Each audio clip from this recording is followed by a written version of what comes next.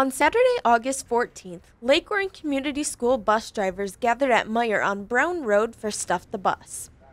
Stuff the Bus was created by Pam King, the supervisor of Lake Orion Community School Transportation Services, to collect school supplies for the students within the community who are unable to afford them each year.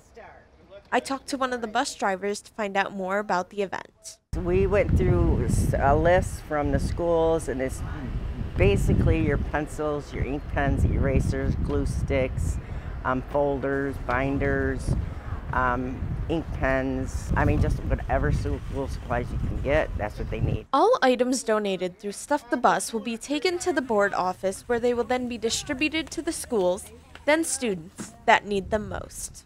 We collected a lot last weekend. Um, I can't tell you exactly how much because we haven't really gone through it all yet, but there's been a lot.